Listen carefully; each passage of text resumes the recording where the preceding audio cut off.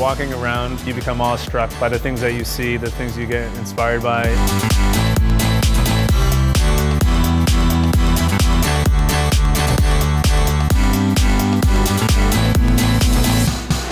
If I did not have good art to sell, I would have no business.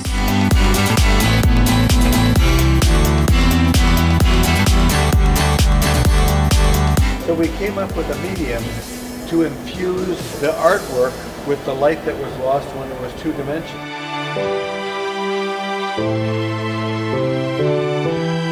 You just want them to look. Anything that happens after that is just this beautiful bonus.